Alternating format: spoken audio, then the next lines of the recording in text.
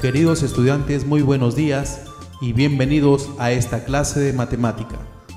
Hoy vamos a resolver problemas usando esquemas de comparación. Para ello vamos a resolver el problema 1 de la página 19 del cuaderno de trabajo de matemática del quinto grado de primaria.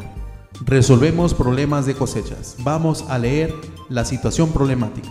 Juan, Teresa y Aurora tienen una chacra familiar donde cultivan hortalizas.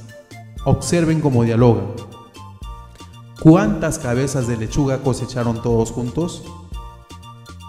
Juan dice, he cosechado 8.543 cabezas de lechuga. Teresa afirma diciendo, Juan ha cosechado 950 menos que yo. Y Aurora dice, Teresa ha cosechado 1.200 más que yo. Ahora vamos a responder estas preguntas. ¿Quién cosechó más cabezas de lechuga? ¿Teresa o Juan? ¿Quién cosechó más cabezas de lechuga? ¿Aurora o Teresa? No olvidemos que el primer paso para resolver una situación problemática es leer el problema hasta comprenderlo. Si ya comprendí el problema, entonces voy a identificar los datos más importantes. Y los datos más importantes los tenemos en los diálogos que hacen Juan, Teresa y Aurora. Otro dato importante es las preguntas que nos piden para responder.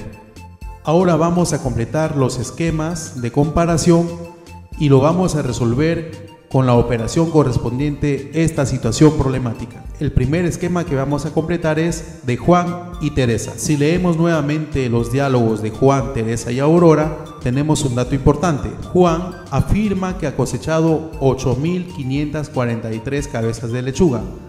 Entonces, ese dato ya lo podemos colocar en el esquema de comparación.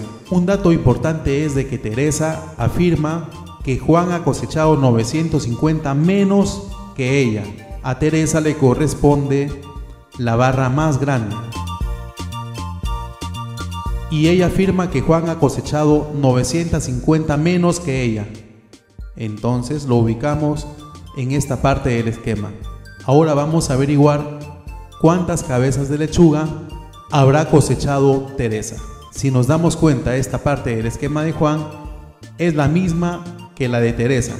Entonces, para averiguar cuántas cabezas de lechuga cosechó Teresa, tenemos que juntar. Y al juntar tenemos que hacer la operación de adición. O sea, vamos a sumar estas cantidades. Sumaremos 8.543 más 950.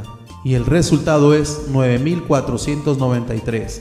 Entonces Teresa cosechó 9.493 cabezas de lechuga. Vamos a completar ahora los esquemas de Teresa y Aurora. Para ello nuevamente vamos a leer el diálogo que tuvieron Juan, Teresa y Aurora. Como ya sabemos, Teresa cosechó 9.493 cabezas de lechuga. Según el problema, Aurora manifiesta, Teresa ha cosechado 1.200 más que yo. Entonces lo ubicamos en esta parte de la barra. Ahora tenemos que averiguar cuántas cabezas de lechuga cosechó Aurora. Ahora tenemos un dato importante. Toda la barra grande que representa Teresa es 9493.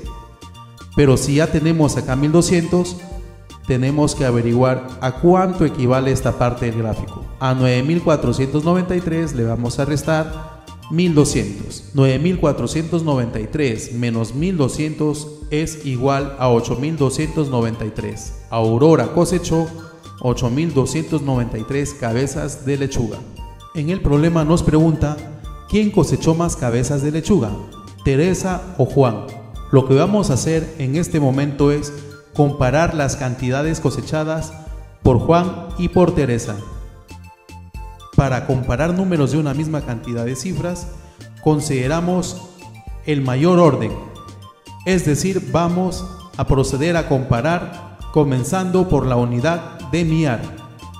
En el caso de Juan, la unidad de miar es 8 y en el caso de Teresa, la unidad de miar es 9. Por lo tanto diremos que 9 es mayor que 8. Entonces, Teresa cosechó más cabezas de lechuga que Juan. La siguiente pregunta. ¿Quién cosechó más cabezas de lechuga? ¿Aurora o Teresa?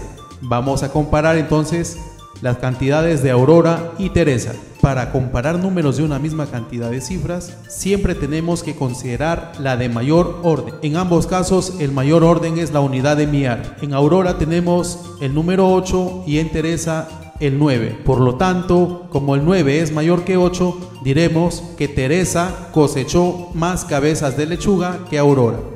Y la última interrogante dice, ¿cuántas cabezas de lechuga cosecharon todos juntos? Como ya sabemos cuántas cabezas de lechuga cosecharon Juan, Teresa y Aurora, lo que tenemos que hacer ahorita es juntar estas cantidades y sumarlo. 8.543 más 9.493 más 8.293 tenemos 26.329.